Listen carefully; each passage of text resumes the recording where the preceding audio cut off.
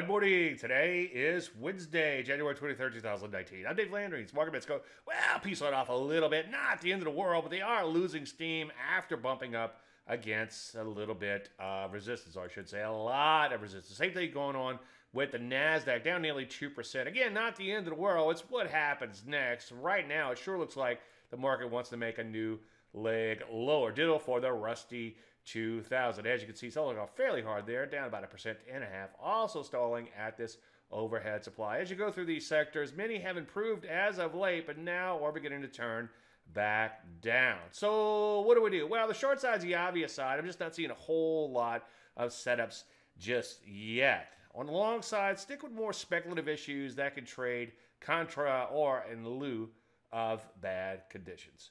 Any questions, as usual, Dave at DaveLandry.com. I'm Dave Landry, and you just heard a Market in it.